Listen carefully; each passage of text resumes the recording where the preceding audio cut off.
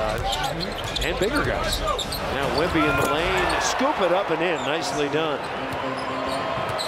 Victor Wembanyama averaging 21 per game and 10 rebounds. Jokic, oh, and he's rejected. Wemby sat on that one, over to Champagnie.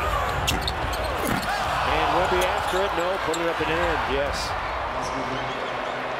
Jokic is out on the break, here he comes. Ah, he rams it home. Take that. He tried to soft layup the time before, and he didn't mess around that one. Au revoir, Wemby. And it's 17 to 11.